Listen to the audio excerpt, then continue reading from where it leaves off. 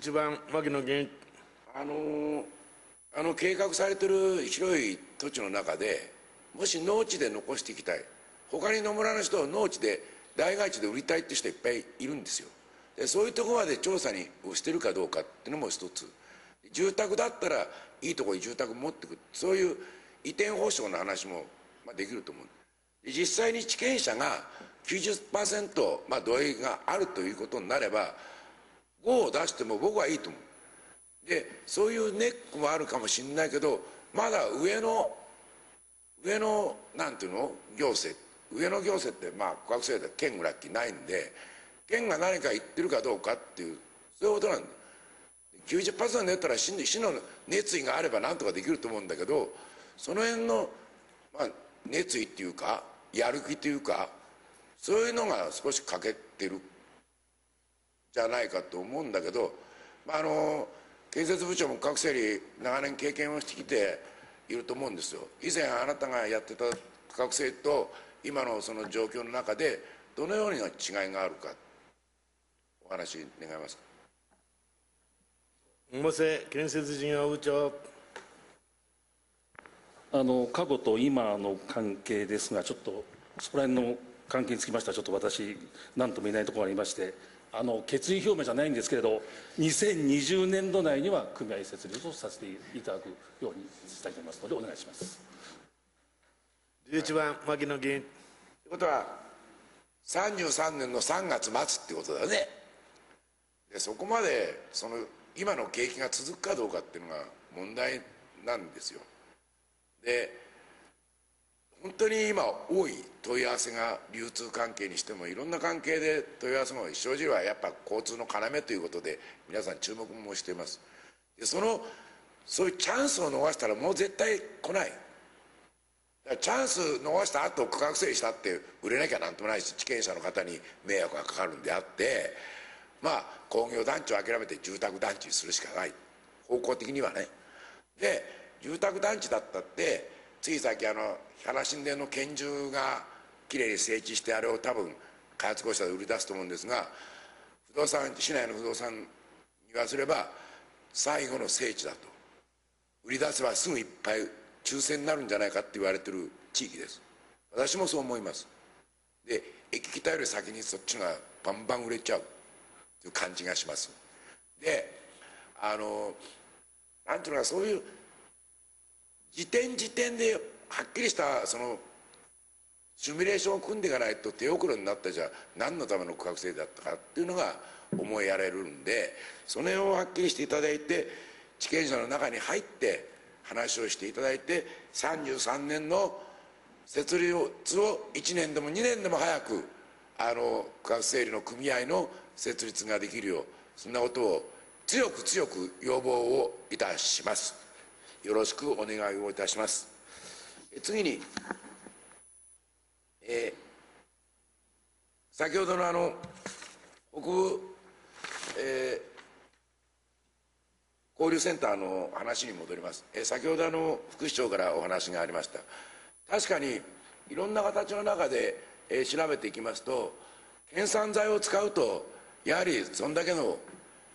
高いものになってしまうってことが流通の過程をあの調べていった時にはっきりしました。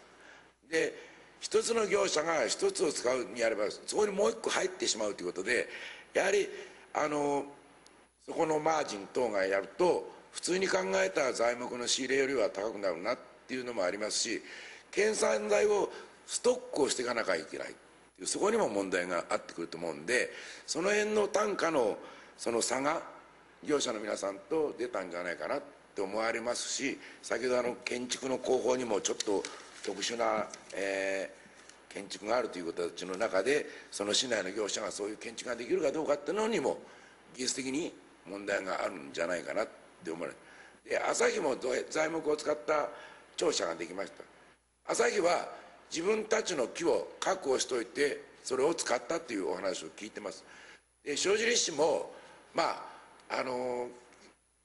奈良村と合併をしてヒノキだとかいろんな今度山もたくさん増えたと思うんでもしそういう計画があったら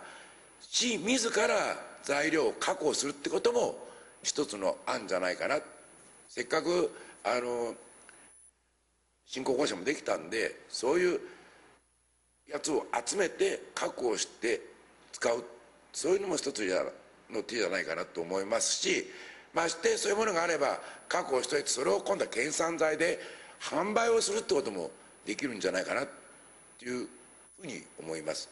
であのもうこういうもう時期的に遅くなっちゃって住民の期待っていうのがすごくある中でまあその債務負担公務を取って年度またいでってことになってしまう。これは仕方ない。もう決まっちゃったことなんでね。でその県産材にもし単価が合わないであれば私は国産材でもいいと思うんですよ。木に変わりはないんでね。例えばどこどこのカラマツ使ってだって長野県って匂いするわけじゃないしだから国産の材に変えて設計し直すのも一つの手と思いますがいかがですか？米子副市長。えーあのまあ、牧野議員おっしゃる通りでございましてですね、あのまあ、いずれにせよ私どもは、えー先ほど申し上げました通りあのしっかりした調査をさせていただいて、どこに原因があるのか、まあ、ご推察の通りのところがございます。あの県産材の流通経路のですね、非常にその複雑さといいますか、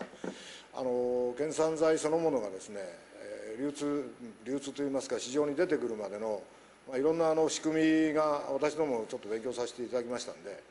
あのよく分かっているつもりでございます。従いまして、もしそれで単価が合わないということになればですね、これはあの検査剤を使う、使わないの問題とではなくてですね、流通そのものの仕組みをこう変えていかないと、長野県のそのいわゆるその検査剤のその需要というのはですね、あのやっぱりそのそうそう伸びていかないようなそのいわゆる社会的な問題もございますので、まあ、そのこともわきまえて、まあ、それはそれとしてですねあの今回のケースにつきましてはいずれにせよ、まあ、住民の皆さんにご迷惑かけないという考え方の中でそれをまず第一番にしましてですねあの長野県の木あるいは集汁の木を使うところはしっかり使っています。しっかり使った上で、えーコストがきちんと合うようなあの方法を求めていきたい。ふうに思ってますんで今しばらく時間をいただきたい。はい11番。